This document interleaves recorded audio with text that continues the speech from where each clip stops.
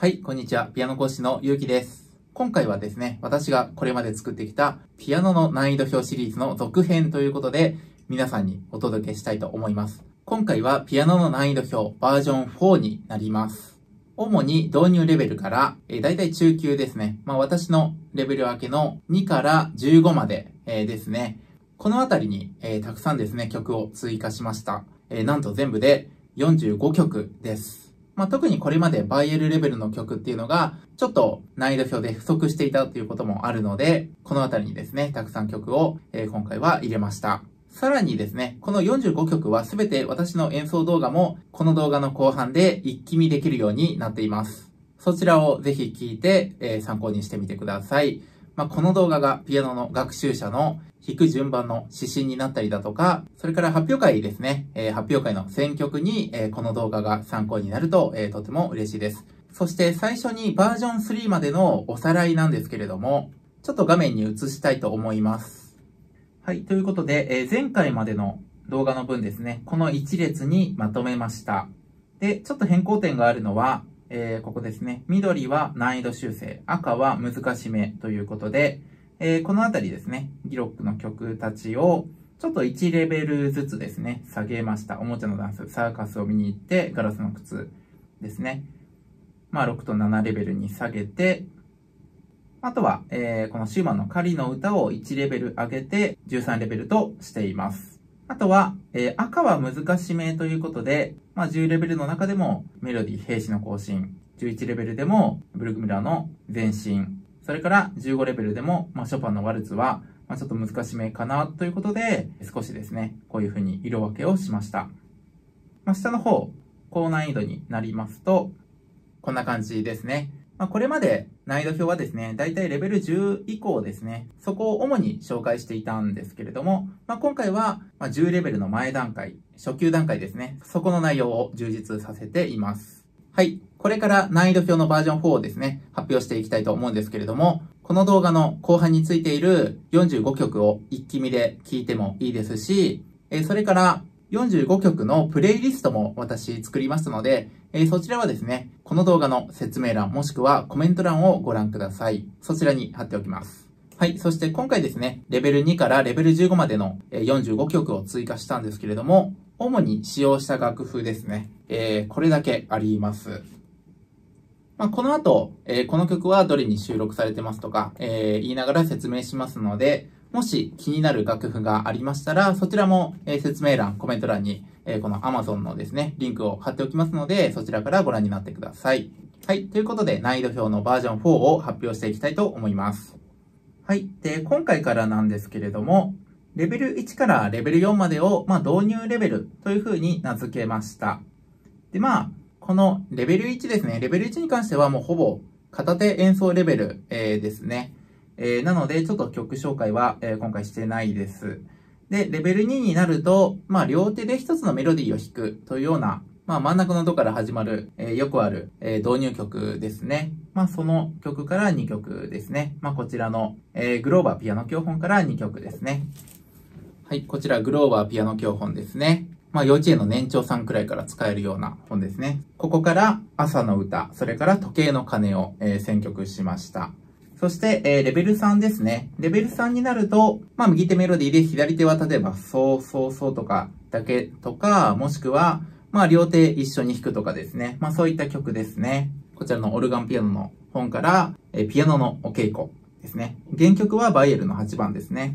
それから春になったらに収録されている、えー、マンボウのお散歩という連弾曲ですね。まあ、初めてのピアノの発表会で、このマンボウのお散歩は、えー、おすすめな曲ですね。まあ、先生との連弾で出演ということですね。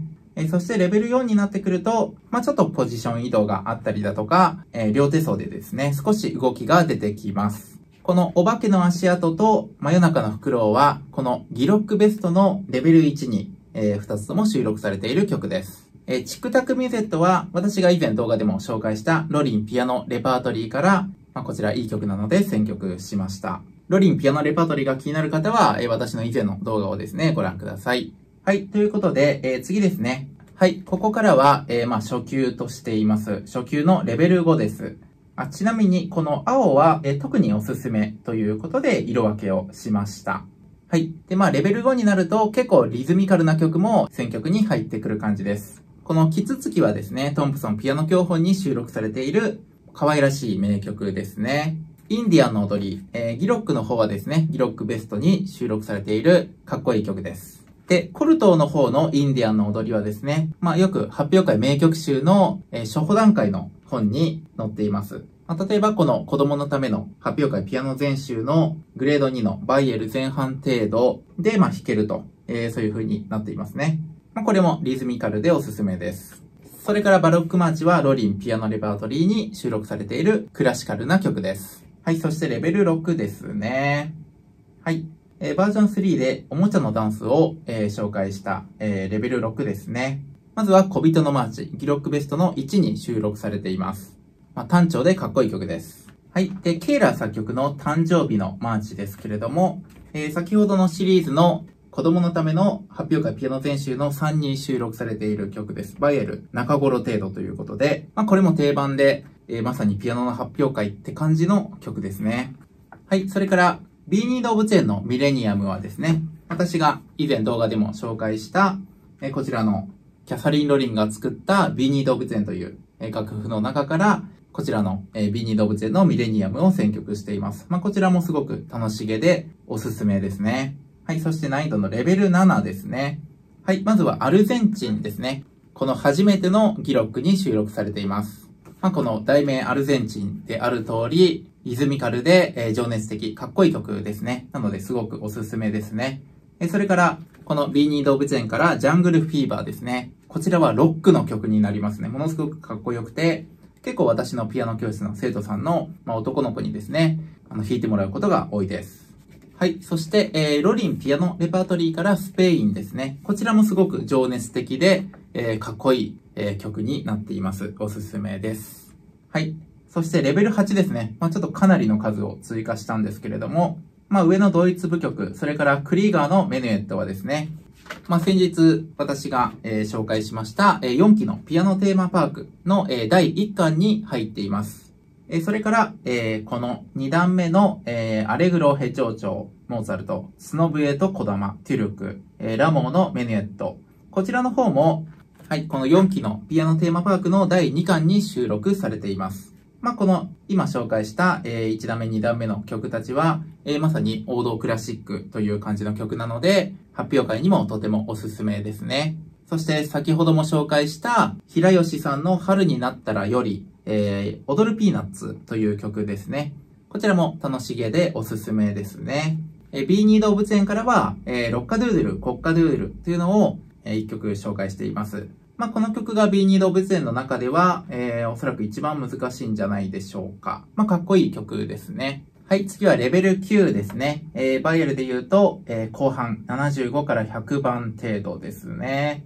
こちらの、え1段目から2段目、えアレグレット、ディアベリ、えバッハのミュゼット、モーツァルトのアレグロ、モーツァルトの、えヘチョウチョのメヌエット、えベールのスペインの歌、それから、えーグルーリット作曲のガボット。こちらはですね、すべてこの4期のピアノテーマパーク第1巻に収録されている曲です。まあ私が特にお勧めしたいのは、まあモーツァルトのメネートですとか、えー、スペインの歌ですね。まあこれ楽しげで、それから情熱的な感じもあって、えー、おすすめですね。それからグルリットのガボットも、まあロマン派のちょっとこうミステリアスな感じもあって、えー、おすすめですね。で、このテレバンのリゴードンはですね、この4期のピアノテーマパーク2巻に収録されています。はい、そして、プリンとプルンのふざけっこは、この春になったらに収録されている、えー、旋律と旋律の追いかけっこの楽しい曲ですね。はい。そしてバルトークの子供のために、まあ、こちらも4期のピアノテーマパークに、えー、収録されていますし、バルトークの、えー、子供のためにという曲集にも入ってますので、そちらをチェックしてもいいと思います。はい。そして、キャロリン・ミラー作曲の夢ですね。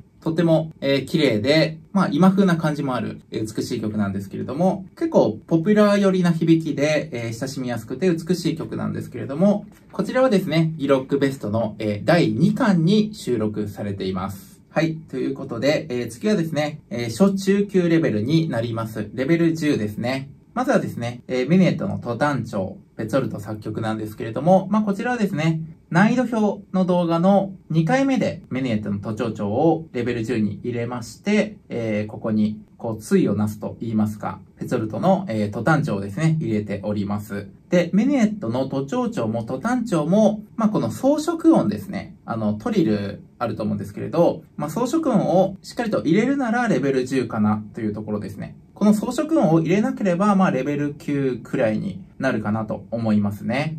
ちなみに、えー、後ほどの演奏動画のおまけとして、メネットの都庁長も、えー、今回の動画収録しています。まあ、この2曲は、アンナ・マグダレーナのための、えー、クラビア小曲集。こちらに、えー、入ってますので、そちらの楽譜用意してもいいですし、こちらの4期のピアノテーマパーク第1巻にも、メネート、都庁長とメネート、トタン長が、えー、収録されています。で、バッハ作曲の小プレリュードもこちらの本に収録されています。はい。そして同じく10レベルに、えー、この勇者の物語、旅立ち、あ、故郷じゃなくてふるさとの歌ですね。えー、こちらの安部美穂さん作曲の何して遊ぶという曲集の中に入っている勇者の物語、えー、という組曲があるんですけれども、えー、そこから、えー、旅立ちとふるさとの歌。まあ、これがレベル10くらいかなと思います。はい。そして次ですね。レベル11ですね。同じく勇者の物語より、えー、帰還という曲ですね。組曲の最後の曲がこの11レベルぐらいだと思います。えー、それから、ありありありありゃという曲はですね、この春になったらに入っている、え、楽しげで、え、不思議な近代的な和音も使われていて、リズミカルでおすすめな曲になってますね。はい、そしてレベル12ですね。えー、カバレフスキー作曲のソナチネですね。まあこれはですね、カバレフスキーの、えー、30の、え、子供のための商品ですかね。その中に入っていますし、この4期のピアノテーマパークの、え、第2巻の一番最後にも収録されている曲ですね。えー、そして、この先ほどの勇者の物語の、えー、試練ですね。えー、すごく、え、緊迫したかっこいい曲ですので、おすすめですね。ちなみにこの勇者の物語を、え、紹介した動画、私以前作っていますので、そちらもよければご覧ください。はい。そして、え、シューマンの子供のためのアルバムから、え、初めての悲しみですね。まあ、シューマンの子供のためのアルバムを用意してもいいですし、この4期のピアノテーマパーク1巻にも入っています。初めての悲しみです。はい。そして、えー、レベル13ですね。まあ、ブルグブラで言うとタランテラとかと同じぐらいの難易度なのが、えー、カバレフスキーのトッカティーナですね。まあ、こちらは、えー、子供のための、えー、30の小曲集から、えー、選曲しました。まあ、こちらですね、右手の和音を掴むのが結構、まあ、特に小さい子がやるには大変なんですけれども、かっこいいおすすめな曲ですね。まあ、この右手の和音をつかむ練習曲とも捉えられると思います。はい、そしてレベル14ですね。こちらは、えー、シューベルトの、えー、ワルツですね。まあ、こちらですね、まあ、この4期のピアノテーマパークの、えー、第2巻にも収録されています。まあ、ちょっと悲しげなんですけれども、まあ、最後はこう救いを求めて明るく終わるという、えー、そういった感じの曲調になっています。まあ、ちょっと大人向けな曲ですかね。えー、ペダルもたくさん使って、で、まあ、ワルツのこの跳躍もあるので、まあ、子供でワルツ系初めてだと、ちょっと最初は難しいと感じるかもしれないですね。はい。そして、えー、最後ですね。えー、15番ですね。えー、シューマン作曲の見知らぬ国、えー、もしくは見知らぬ国と人々、えー、ですね。ま、こちらは、えー、シューマン作曲の子供の情景に入っている曲ですね。まあ、子供の情景の楽譜を用意するのが一番かと思いますけれども、まあ、一応ですね、この4期のピアノテーマパーク2巻にも収録されています。はい。ということで、えー、以上ですね、45曲をざっと紹介しました。まあ、なんかすごくこの2冊をですね、紹介していて、この宣伝をしてるんじゃないかと思われるかもしれないんですけれども、えー、そうではなくて、え最近私この本の兄弟研究をしていましたので、まあちょっとこの本の収録曲に偏ってしまったというのはありますけれども、まあ名曲揃いなので、えー、入れさせていただきました。えー、ということで、えー、以上がですね、ピアノ難易度表のバージョン4となります。